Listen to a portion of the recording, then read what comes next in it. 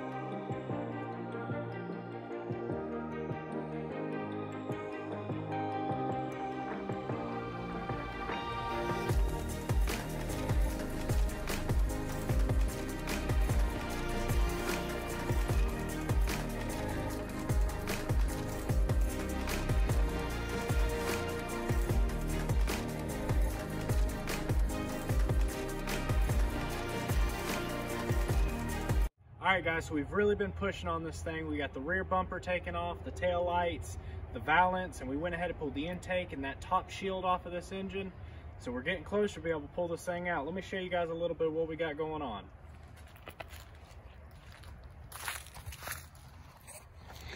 So I don't know if you can tell, you know, we had this crunch here, but just how solid everything actually is here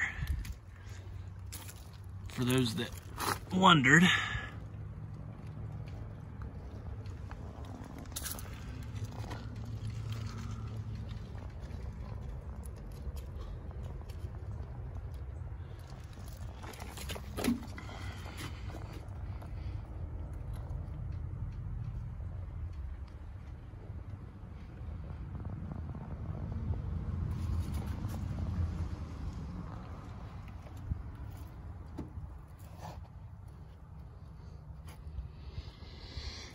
All right, so as you can see, went ahead and got the intake off, that top heat shield, the alternator and fan, and uh, she's, uh, she's definitely a higher mileage motor, but from my experience, that may help us out with whether or not she's savable. Um, you know, you wear her out a little bit and she's a little sloppy. That's what's, that's what's best for I guess you could say for these cars that sit. And uh, four, four of the six intake valves are actually closed, so that's definitely helps us out. Um, it looks like the fuel had a steady drip for a while. Notice there's some gas in the exhaust. So we have some intrusion on this cylinder. Otherwise, the rest look good, but I'm not sure if it's water or fuel. Being it was the, the highest one, sorry, my hands are nasty. Being it was the highest one, I'm thinking it's probably fuel intrusion. And uh, so we're getting there one thing I did notice and uh, gives us another fun obstacle. I don't know if you can tell. See that shock hanging off there? And uh, the exhaust rubbed. So what it appears happened is those wheels were on the front when this thing went to the scrapyard. And she was dragged down the road. uh, thankfully, it looks like the only thing that was act actually impacted by that was uh, the exhaust is toast. Um, nothing on the engine got rubbed, nothing on the transmission, um, but it did rub through those rear sway arms. I guess that's what you call it on this car. And uh, so obviously I'll be looking for a set of those and uh, But as far as up underneath there, nothing else got rubbed. So we should be good. And uh, so uh, we'll, uh, we'll go ahead and start getting this engine pulled out and uh, so we can check it out, guys. All right, guys, I'm gonna go ahead and get this thing jacked up so we can get up underneath it and start getting some bolts out. Uh, thankfully, I got one of these left over from one of my old Mercedes.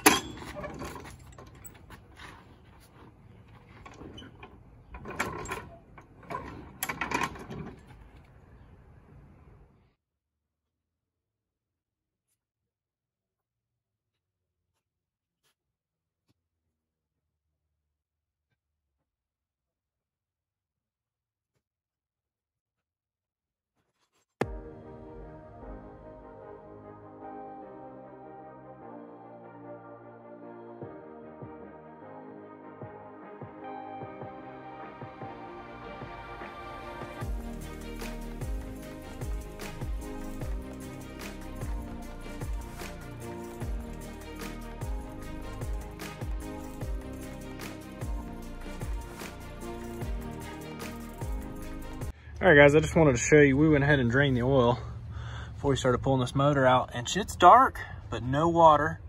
I do smell some gas, which uh, I do believe my, my suspicions of gas ugh, intrusion are correct. But uh, no met metal shavings on the drain plug and uh, some okay looking oil. So I think I think we might be all right, guys.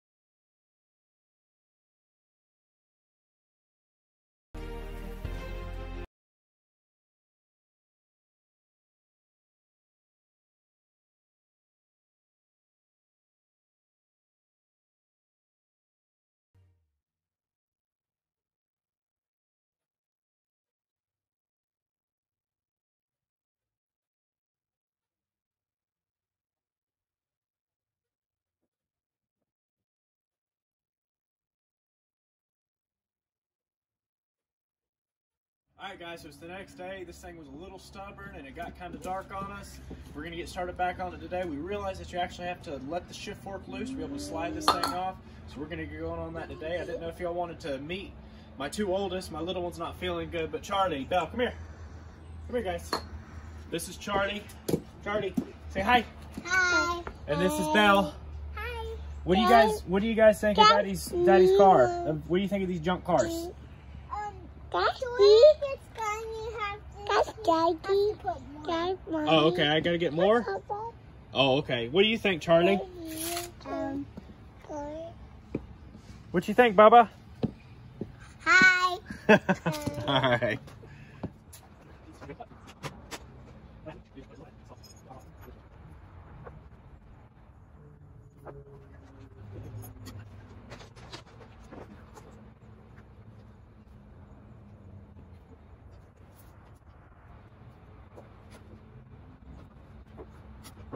All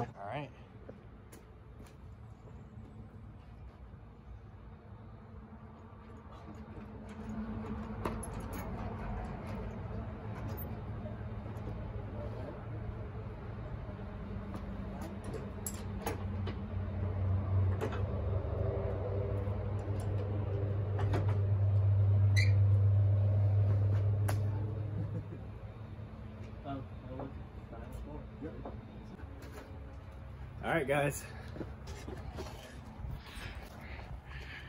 She is dropped out of there. That was what we were lacking, was that throw throwout bearing fork right there. And uh, so what we're gonna do now is pull the MG out, get this backed up so we can get it on the chain fall and get this motor on the engine stand.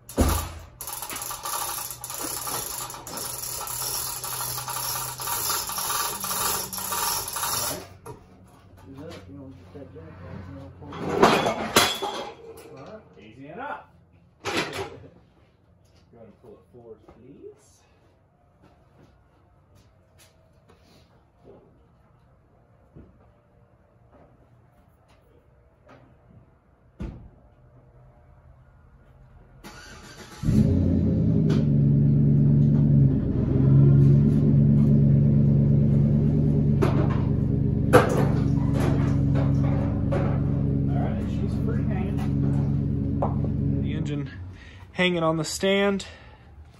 And uh, so we can go ahead and start working on it. You see it looks like it had a fairly new clutch put in it and the it's got a fairly new pressure plate. Not long before it was put up.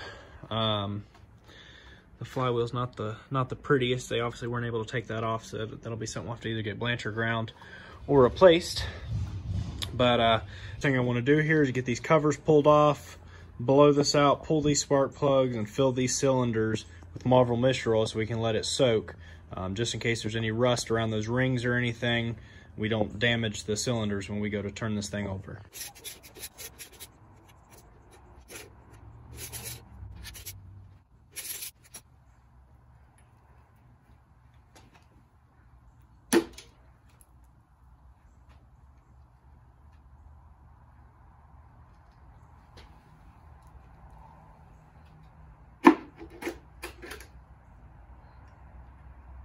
Okay, those are our covers.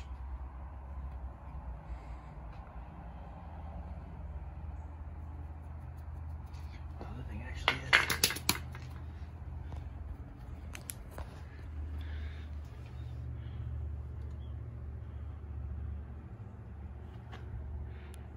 Sorry guys, let's see. Actually looks really nice.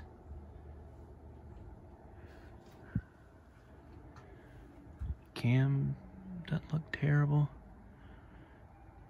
All right. All right, went ahead and put the cover back on just so we don't get any trash in the engine. I'm gonna blow it out in here so we can get those spark plugs out.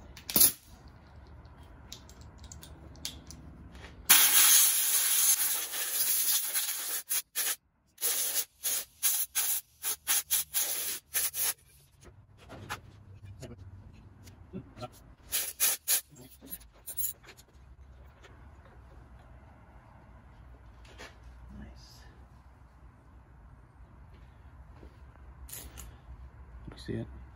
I just want to show you guys, got some buildup on that one, but no rust. So that's a really good sign.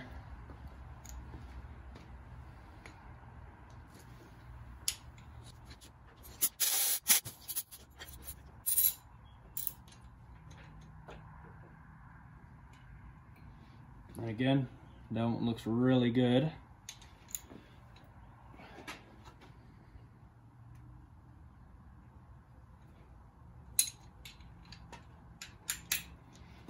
This here is the one I was concerned about. These plugs are coming out surprisingly well. It's always scary pulling plugs out of aluminum cylinder heads.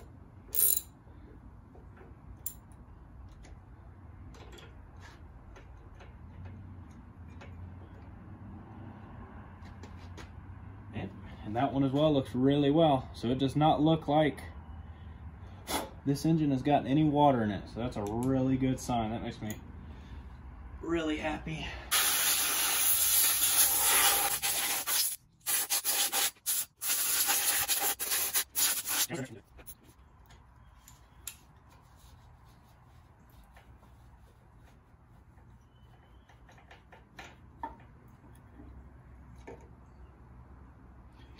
Again, another plug that looks really good as far as any kind of water.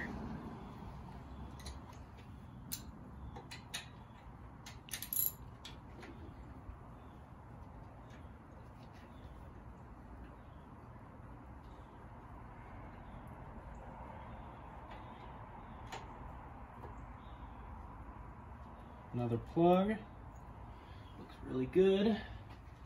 This is the one that I worried about possibly getting some water in it. Let's see what we have.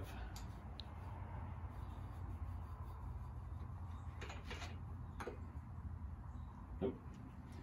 Another plug that looks really good. And uh, so I am really happy about that. But uh, not going to bore you guys with it. I'm going to go ahead and get these cylinders full of Marvel Mystery Oil so we can let this thing start soaking for a few days. Make sure if when we go to turn this thing over that there that there's no if there's any rust on those rings, we don't create any scarring on the cylinder walls. Um, I will tell you, I went ahead and put a wrench on this thing. I turned it over a little. I just turned it a little bit, and it is free. And so I'm really happy about that. I, I think we can revive this thing. Again, I just want to thank everybody for all the new subscribers and all the positive comments on that last video. It's really helping me keep going on this thing. I also want to thank my wife. I know she puts up with a lot with all this junk and my uh, my amazing children that I that really enjoy all this with me as well. I do want to thank my father. That's the fellow that's been helping me out. He's kind of shy, so doesn't really want to talk on camera yet. And uh, but he comes over and helps me with all these these projects and, and ratty cars. And be sure to subscribe, hit that notification bell if you want to see more on this build. And I look forward to seeing you guys next week.